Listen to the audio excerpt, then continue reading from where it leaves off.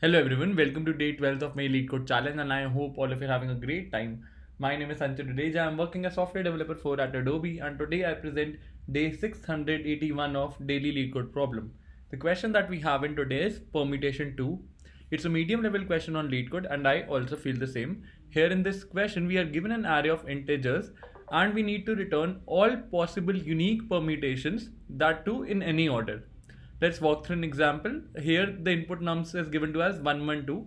So there are three permutations possible which is 112, 121, 211. And if you kindly look at this output then none of the sublist is getting repeated here. That means we have to take into consideration that no repetition of the same sublist occurs more than once. Let's walk through the other example. Here the elements are 1, 2, 3 and in total there are 8 possibilities that could be generated. 2 raised to power 3 gives us 8 therefore they have specified us with 8 possibilities. And none of the element gets repeated. As a result of which all of them are unique in nature. Now comes the concern how are we going to solve this problem up? If you carefully look at this question then the question itself gives you the hint that the way to go in all such permutation and combination questions is backtracking. How to solve backtracking problems I know some of you might be aware about it, some of you won't be. So ba all backtracking questions can be solved using a generic template. I talked about this template few days back as well when we witnessed combination sum 3 problem in daily LeetCode problem in this month itself. So if you're looking for learning this template, then this video is for you.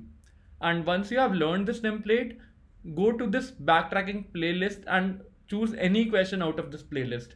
I promise you will be able to solve it some tweak in the code is needed, but the answer is definite. The same template gets applied to all these backtracking problems. It will act as a revision opportunity for you.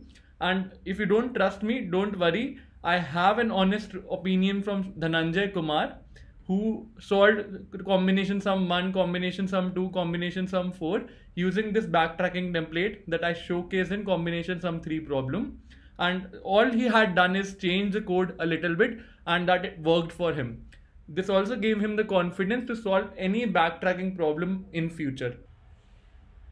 Now you will say, can you please show us how can this backtracking template be applied to today's question? The answer is yes. So let's get back to that question and let's try and extract the maximum out of it. So we want to avoid duplication of each and every sublist that may occur. For that, what we should use? We should use sets for it. So as a result of which, I have created my answer in form of a set of list so that in case duplicate elements gets added onto it, set automatically takes care of it. Uh, along with this, we should also keep track of whether this one was added or this one was added.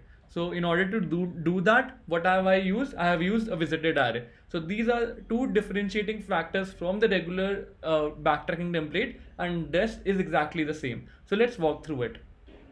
So this is the answer list that I have created.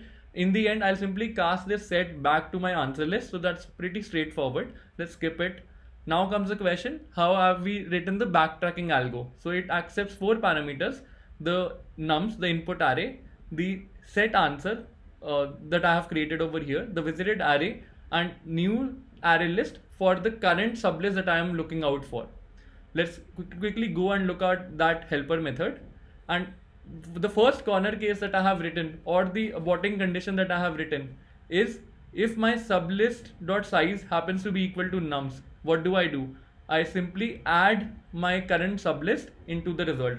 So this is a standard way of writing the backtracking template and moving ahead, I have written a for loop starting from i equals to 0 up till nums dot length and with each iteration, I'm incrementing the value of i.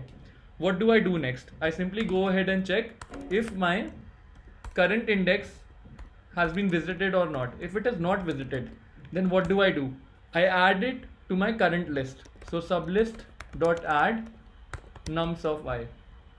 Then moving ahead, what do I do? I invoke the backtracking helper method and I pass in result, I pass in visited and I pass in sublist.